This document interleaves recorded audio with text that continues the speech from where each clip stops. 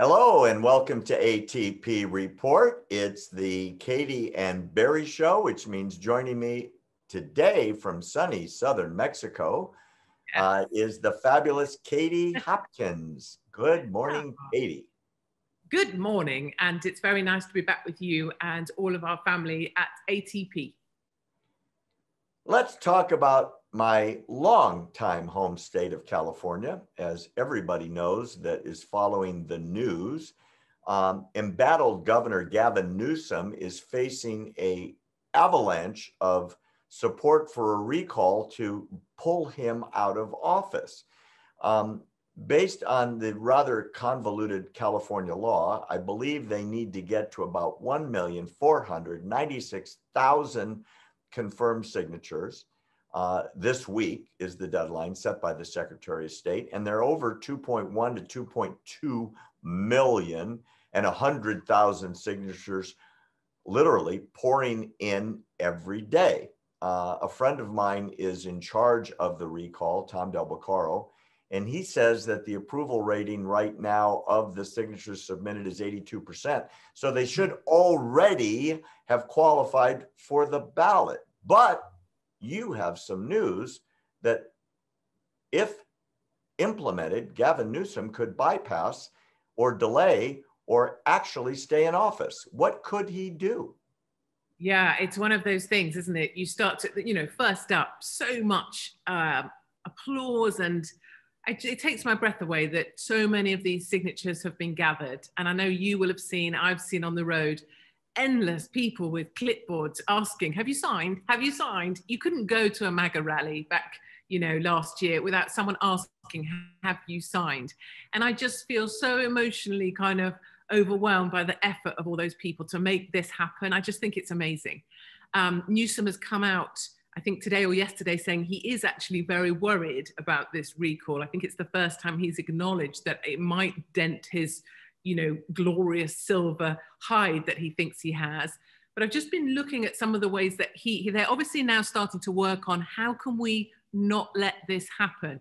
And if I can just read you this, um, once all those signatures are in, once they've been validated, maybe 82% going through, as you rightly say, um, then Newsom has an additional 30 days uh, for something called a clawback provision in the recall law. And what it means is he has 30 days to try and get in touch with as many of those signatories as he can and persuade them to change their mind. Now, you know, bear in mind, this isn't going to be Gavin Newsom sat alone with one headset, you know, hand dialing these people. They're going to work at what, what can we tell people that will get them to change their mind? And that's the first thing they're going to do. Well, I got news for you. Um, famous American socialist slash communist uh, Senator Bernie Sanders is putting out press saying anyone in favor of the recall is doing it because they don't want the little people in California to be taken care of, and they're probably racists and white supremacists and MAGA supporters. So, in other words, all the buzzwords that fire up the progressive left. And of course, he's ignoring the fact that California, the former Golden State, that's still the motto, is, well, borderline in the trash can. There's thousands on the streets. There's people by the tens of thousands pouring across the border. The state is absolutely flat broke. And the governor is tone deaf and having, you know, thousand dollar dinners at private restaurants, uh, seemingly disregarding his own um, pronouncements that apply to the little people, but not the elected people. So there's a big disengagement between him and and his followers as it is in the state. There so is. And then the other thing, Barry, is, you know, it, let's just say, because after this kind of clawback clause, they can then push it back. There's some people speculating they could use administrative delays to push it back well into 2022. And I guess you've got this convergence, haven't you, of people who've just watched an election that, to all accounts, appears stolen. And then they have the faith to sign a petition, again, trying to believe in democracy, because actually, in our hearts, we want to believe in democracy. What happens if this petition, having got over the line, then fails? Like you say, you know, how do people have faith anymore? I get it. And everybody I'm talking to throughout the state of California is angry, whether they've signed the petition or not, Katie. Mm-hmm. The state of the state of California is dismal and getting worse. We'll see what happens in the next few days when the Secretary of State announces the review of the ballots, or sorry, the petition signatures that have been turned in. Let's talk about vaccines for a minute. I am stunned that there's going to be vaccination trials on babies for COVID, even though the risk to small children is virtually zero, literally, virtually zero. And like you pointed out, there's uh, a mother in Arizona that's going to line up her babies, one and three, for the vaccination trial to prove that it's not going to kill her kid. What the heck is she thinking? I, it's just horrible, isn't it? You know, my first reaction when I saw the headline, uh, vaccine to be trialed on babies and children in the US, I honestly thought it was a hoax. You know, I thought, oh, it's one of those sort of hooks to lead you onto some fake news or, you know, to draw you into a site just to find out that that's actually not what's happening. And I've triple checked it with a number of sources, and it, it's actually genuine. In Arizona, and I think a couple other states, they're going to begin trials of the vaccine on babies as young as six months old. And what's more worrying or frightening or I don't know, horrifying about this is this woman, a mother, who says she's excited about the opportunity. She can't wait to line her one year old and three year olds up to be you know, it's experimentation. She's lining them up to be experimented on. And I think, you know, and I've posted this to social media and people have commented, there's people saying, I know a woman just like her. I know a mother just like her. And we've seen it, you know, with Black Lives Matter. I knew women in London that had their white children on the doorstep saying, I apologize for my whiteness you know, it's these sorts of mothers that want validation from the kind of woke masses. She thinks she's accruing points by sacrificing her children. I mean, it, it's kind of cult like, isn't it? It's, pop, it's satanic in nature. I wouldn't let my children or my grandchildren or my dogs get experimented on, God forbid. And the fact that mothers are bragging about this and, and the risk to children, Katie, is virtually zero. Nobody's dying under the age of 10 from COVID. Why would you inject a vaccine in a trial in your own child? My goodness, isn't the first job of a parent to protect the health and safety of their own kids? It just makes you wonder what has gone on in these women's heads. And, you know, I don't want to be like one of those people that says, I pity you, because I, I, find that to be a very uh, vulgar expression. But I do wonder, you know, did, did a switch click in their heads? Did they lose something? Did they, what, like, what happened to them? Did they choose this path uh, of their own free will? Or are they just so brainwashed? They can't see it. Or do they think it's going to put them to the front of their line with the kind of you know woke brigade? Is it that you know that makes them more special than someone else in the sort of orwellian sense? Well you know sometimes um, society pushes back when the line gets crossed. And, and i'm thinking uh, right now about alaska. Uh, there's a senator there lisa murkowski uh, who has been uh, quite the nemesis of mainstream conservative republicans and most prominently uh, placed herself on the enemies list of President Trump, uh, both uh, in the recent and in the previous uh, impeachments. And now the state GOP says they will primary her. They have um, come out with numerous condemnations and censoring of her, and they're going to look for a challenger in the primary. And it's really interesting that what is the national party going to do? There's a, um, I guess you'd call it a tradition that the National Republican Senatorial Committee always backs the incumbent. But what's going to happen when Trump shows up in Alaska as he's promised to do, to fundraise and campaign for whoever the local GOP can put up against her.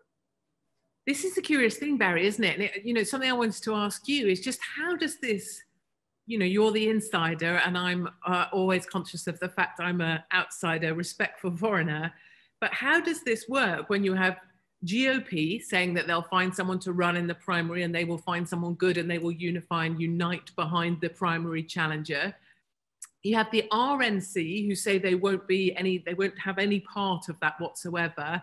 And then you have the senatorial committee saying that historically and going forwards, they will always stick with the incumbent. So there's three different positions right there before you apply Trump, the Trump effect. So where does this leave grassroots Alaskans? Where do they go with this? What do they do? I honestly don't know. And I can't remember other cases specifically like this. Although in a few elections recently, Katie, like in Alabama, um, the guy that should have been out front uh, lost, Jeff Sessions, because Trump came out for Tommy Tuberville. And Tuberville won and is now the senator from Alabama. And the previous senator from Alabama, which is Sessions, that became his attorney general, went back to run again and lost. Why? Because Trump supported the other guy. And it tells you, I think, mm-hmm. in a grassroots sense, that Trump bypasses all of the structure of traditional Republican politics and goes right to the people. And I wouldn't bet against Trump if he goes to Alaska, whoever they pick is going to be the guy or gal to stand against Murkowski in the primaries. And it's a Republican state. Whoever wins that primary will be the next senator from Alaska. And a question to you on that um, Will Trump align with? I mean, I, I'm asking you to, to think forwards to the future of things you can't possibly know, but presumably Trump would align with whomever the GOP backs, would he, in this case? I really don't know. I know that in other cases around the country, um, Trump is going right to the candidates. For example, yeah, his former press secretary, uh, Sarah Sanders, is running for governor uh, in Alabama, and he's shown up already to campaign for her. I would hate to be another candidate, Republican or Democrat, who didn't have President yes. Trump's support. Absolutely right. And there was something else I wanted to ask you about on another topic, Barry. Uh, I've had some experience being on Tucker Carlson's show. I used to be on kind of on a weekly basis with Tucker doing his best kind of confused face at me whilst I was, this was when all of the terrorist attacks were happening. I was kind of a useful person for them then. And I see from over the pond, even though I'm now beneath you in Mexico, but usually I see this Tucker has become more and more, it seems, of a focus of internal uh, structures in the US. Like, so I remember him dancing on celebrity dancing, and then, of course, as the anchor of his show. It seems like Tucker's evolved into something much more than that. He's become a focus of interest of the military. I don't know the FBI. I don't know what what is going on with Tucker because I don't get it. As best as I can tell, he's a victim of his own success. And what I mean by that is he has monster ratings and is frequently the most popular conservative on the news. And so the woke left, from wherever it's coming from, always wants to pick out the leader of the other side. And in media, while it was formerly always Sean Hannity, yes. now it's Sean and or Tucker. And okay. when Tucker goes after someone, they come back after him. So if I was mm-hmm. Tucker Carlson, I would look at this as an affirmation or a confirmation of my success. If he was somebody, you know, down in the ratings, say at CNN or MSNBC, he'd be a nobody and nobody would care.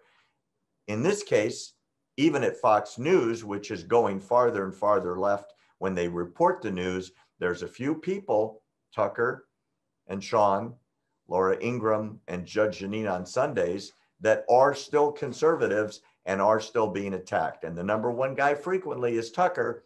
And so he is the one with the arrows flying left and right all around him every week. And it's coming from practically everywhere.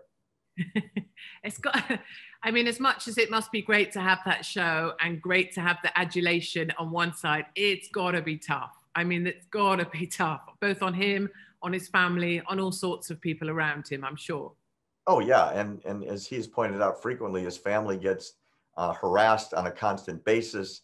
Um, his his house is under surveillance. Um, he can't go out in public. There's a lot of people that have lost the mm. intelligent manner of communication, and it's a war against the other side. And they treat people that don't have the same political views as the enemy. And unfortunately for Tucker, it really tends to ruin your private life. And it crosses the line for me when it includes his wife and his children.